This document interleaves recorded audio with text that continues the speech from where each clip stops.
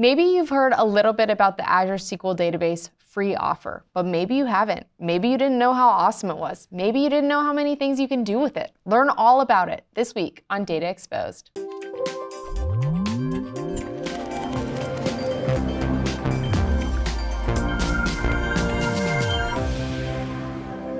Hi, I'm Anna Hoffman, and welcome to this episode of Data Exposed. Today, I'm joined by Amar, a PM from the SQL team. Amar, thanks so much for joining us. Thank you, Anna. Thank you for having me on the show. It's great to have you on the show. Today, we're going to be talking about the Azure SQL Database free tier. Maybe people have seen this before, maybe yeah. people haven't. So tell us all about it. Yeah, thanks, Anna. Uh, well, this free offer has been in public preview for a few months now. So I'm here to talk about, uh, you know, giving you all a quick refresher of what this free offer is all about, how it's different from the old offer, but really, we're going to talk about how it integrates with some of the most powerful tools in Azure, like Power Apps, uh, Power BI, Azure Data Studio, and uh, we're going to look at some really cool AI applications after that. Awesome. Cool. Yeah, let's get right into it. Yeah. Let's get right into it. So the old offer was pretty restrictive in what it had, right? It had a limited effectivity of 12 months, restricted performance, and uh, you had to have an Azure free account subscription the new offer, though, is completely unrestricted in that regard. It works on the latest serverless tech. You don't need an Azure free account subscription for it. So there you have it. You have uh, you get one free database per subscription for the lifetime of the subscription, and you get this free quantity of uh, 100,000 vCore seconds of compute every month. Every month. Wow. 32 nice. gigabytes of data storage, 32 gigabytes of backup storage, and then uh, it works on this cool serverless tech. So if you're not using it, it saves up all of your compute. It goes into autopause. So uh, you know anyone who wants to use it can go right into aka.ms slash SQL free offer and sign up. And we're going to look at how uh, the discoverability for that is uh, through a quick demo of, of where uh, you can click and get access to this fully featured Azure free SQL database. So here, um, with just a few clicks, I, I get the option uh, to you know get into this free database offer, and it'll um, it'll give me the ability to get 100,000 vCore seconds and 32 gigabytes of storage every single month. And then as soon as I find the, the sign up for this free offer, it will then uh, take me directly to the, the sign up portal. Uh, on the sign up portal, we've created a very, very easy way for you to navigate and apply this offer in a very seamless way. There on the top, you'll find the ability to apply the free offer.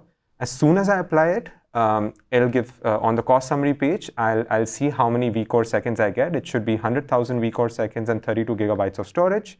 Uh, I will have the ability to remove the offer as well. And then uh, every single month, this keeps uh, refreshing. But then during the month, if you want to know how many vCore seconds you've consumed, you should be able to do that to know how many vCore seconds you have in the month. Um, there you have it fully packed. You can go to aka.ms slash uh, SQLFreeDB to, to, uh, to get this free offer. Uh, but what we are really uh, you know, here to talk about is, you know, it's been in the public preview for a few months and customers have really seen very cool applications with it. I'm going to uh, talk through some of these applications. And uh, before we get into that, uh, I also want to talk about the awesome flexibility this free offer has. So let's say uh, my, my free offer is getting over, or uh, you know, when I start the free offer, I feel the need to upgrade to the fully lit up SQL feature base. Um, I will have the ability to do that in a very seamless way. I just have to flip a toggle and I will be able to get over bill over usage which should allow me the ability to scale all the way up to 80 cores and 4 terabytes of storage. Nice. So like if my app or whatever really picks up, like no problem, I just switch it over and now I can scale up, right? Absolutely, Anna. Awesome. How cool is that, right? Cool. Yeah. So then uh, what do you need to do to sort of integrate it with these really powerful tools you have in Azure, right? And we're going to talk through um, at least three of those tools, and then later we're going to get into this awesome AI application as well. So we're going to start with uh, you know a scenario that we're going to build over these uh, three three different tools. But first, uh, we'll have to look at what security changes you need to do to sort of allow these different Azure services access into your database. Okay. Yeah. So all you have to do is you know get into this uh, networking sort of uh, page and uh, click this option to allow other services and resources to access the database. And once you do that, there, there you have it. You, you, all the Azure services should seamlessly be able to connect to your database and use all of the data and the awesome and cool things uh, that you want to do with your database. Um, let's start with uh, the Azure Data Studio because that's one of my favorite ones.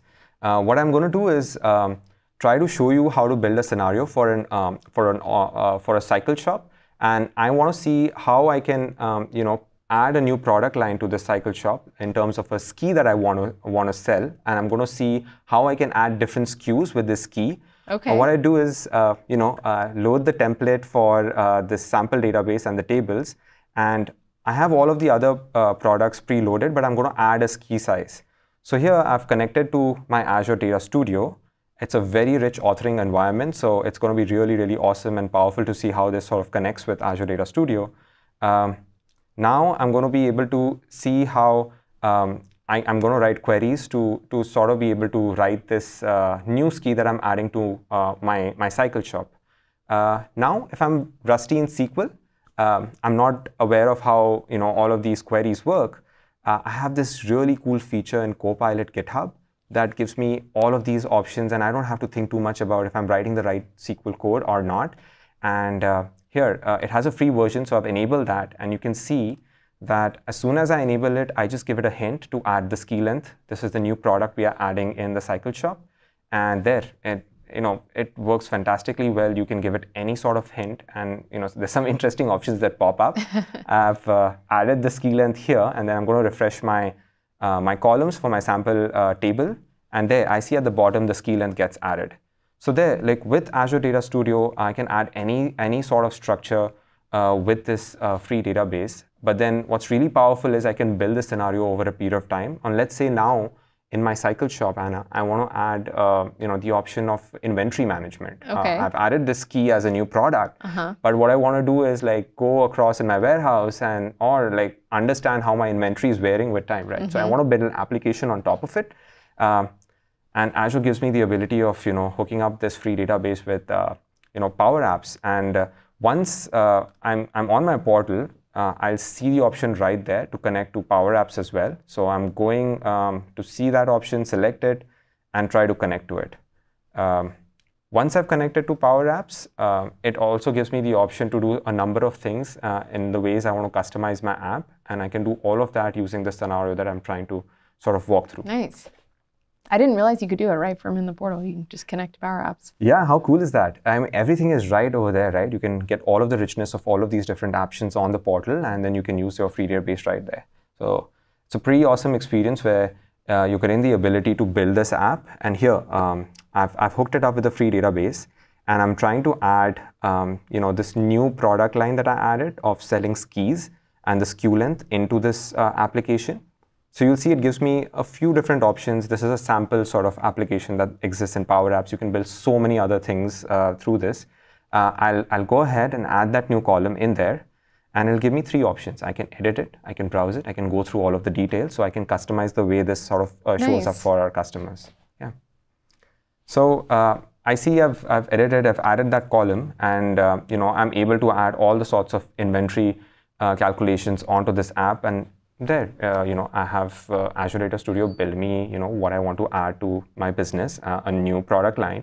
I've got an app built on top of it which is inventory management so it's great. But now let's say uh, you know i'm a small business uh, i want to really understand or perhaps any other uh, customer right or a user i want to understand how do i visualize you know everything that i've added through power apps or data studio? There there's an option to connect to power bi to build these really powerful visualizations as well so what I'm doing is, again, the option is right there in the portal. Nice. You said, very convenient for users. Um, you connect it to Power BI, and there, uh, the option is right there like Power Apps. I try to connect it to my free database. Uh, takes some time, it's thinking about it, and it connected. And then, uh, once it's connected, I can build any powerful visualization of how my inventory is looking up. So remember we added the, the, the ski length for this new SKU. Um, uh, when we added this uh, new SKU into it, uh, I am now trying to understand how the inventory is varying over a period of time and pretty much build my visualization to understand all of the historical analytics that my business is sort of you know trying to fare through and understand how my business is doing. So there, uh, I'm building a simple table using this Power BI, but you can pretty much build really cool visualizations doing it. You can build a, you know, a pie chart or a bar graph and understand how your inventory or your business is doing over a period of time for my cycle. And all this with the free tier. Can you, can you imagine how, how cool is that? Like people get to do it for free and uh, a very, very, uh, you know, uh, uh, awesome option for customers to kind of just use the power of everything, Power BI, Power Apps, and the free database. Uh, but this is the one I'm really excited about, okay. uh, using this free offer for AI. And um, I'm going to walk through a really cool, uh, sort of totally different scenario. So let's say, uh, Anna, you and I are in London. We want to find the best place to get focaccia bread. Um, and I don't know how to do that because there's so many options out there, right? Yeah. London, there's so many uh, places. So now I'm going through the internet. I'm going to, uh, you know, search through every option for like focaccia bread, trying to see which business gives me the best option, right? So I go through and do that, and I see there are 200,000 uh, businesses and 8 million reviews to go through to get the best bread. Good luck. yeah, and so I'm getting all of this uh, through my front end option that is connected to my app payload, and it's loading, and I'm finding the, the way to connect all of this data into my free database. It has all of the addresses for my business as well, and it has this custom JSON native type, uh, which is connected to the app payload that sort of gets all of this data into my free database. And now um, I'm also trying to understand what I can do with like, you know, getting to the precise search. So, you know, the awesomeness of uh, Azure SQL Database, Anna, you can have all of these predicates, which means you can filter the data on top of which you can build your AI-based like uh, similarity search. So let's say now we are in London, but there's so many options that we saw out there, right? But you and I, we really care about only the the options that are like greater than that have the highest reviews right. that are greater than four stars. Um, now, since we are in London, I also want to make sure that I'm not actually traveling too far. Uh, so right. I put a geospatial search on it, which is the geolocation. I restrict it to like five kilometers of search. Um, but you know, even if I limit it, there are so many other places out there. So I see that I have to add a category-based search. This is something new. This is a regular expression that I'm adding as well. Mm. I put mm. Italian and pizza. And now I, am still getting some results, but I'm not quite getting the, the precise result I want to get to the right sort of uh, focaccia bread, right? The best out there. So here, uh, what we have is this is the right review we see that gets us to that location. And uh, you see that the, the, the user has basically just, you know, uh, the customer has just explained, uh, you know, why they think it's the best focaccia bread in town. and it exists with the, uh, the location ID 307305. Uh, so I'm going to try and see how we can get this through the AI. So uh, I, I, try to I try to use this uh, uh this review to build onto the pre-existing filters that I had, but I'm going to add like uh, the AI version of this. So uh, on top of this, so what I'm going to do is connect it to the REST point stored procedure, and that gets me to Azure OpenAI. I'm going to get the embedding for the the text-based data, and then um, and what I'm going to do is build a vector distance on top of my pre-existing sort of filters. And what that does is once I've, uh, I've got my, my regular search, I've got my location-based search, I've got my geospatial search, I've got my regular expression. Wow. On top of it, I've got a vector distance search. So I'm able to, you know, can you imagine with all of those reviews that we saw uh, initially, we are going to get to the exact focaccia bread that we've been it. craving for, uh, you know, to get the best uh, focaccia bread in London. So as soon as I add these filters, um, you'd be able to see that uh, uh, we, we run it, we run all of this. Um, and you know what you see, Anna? If you see the text, use, uh, it, you know, the, the customers are not like very precise in their spellings when you're writing a review, right? They have very less time. So you'll see the, the focaccia bread spelling is like misspelled there. But it's then, hard to spell. Yeah, yeah. So uh, when I add all of these searches like and, and I use AI on top of it, I still get to the right uh, search result. So here, I'm going to execute all of these statements that, that I see. And then uh, there, uh, once I execute it, I get to 307, 305 on top of this list, which is the exact result that we were looking for, right, when we looked for the, for the search. So, you know, it's really cool to see how, uh, when I'm looking for a particular, you know, search result, how with the existing options I have with the Azure, uh, you know, database, when using the free database here as well, how I can build AI on top of it to get to something really, really cutting edge and powerful to get me to you know the precise result uh, when I'm using the free database. Isn't that cool, Anna? Amazing. It's so cool. Amar, you just showed me so many things that you can do with yeah. Azure SQL Database, but also with the free tier, which is awesome. Um, yeah, so thanks so much. I learned a lot about the free tier, but I also learned a lot about Azure SQL Database in general. Yeah. Um, to our viewers, if you like this episode, go check out the free offer, aka.ms slash SQL free offer. We'll put a link in the description for you to go learn more. Uh, maybe some links to some of the other things that you saw in the, the video. Uh, again, thanks so much, Amar. If you like this episode, go ahead, give it a like, leave us a comment. Let us know what you're going to do with the free offer, and we hope to see you next time on Data Exposed.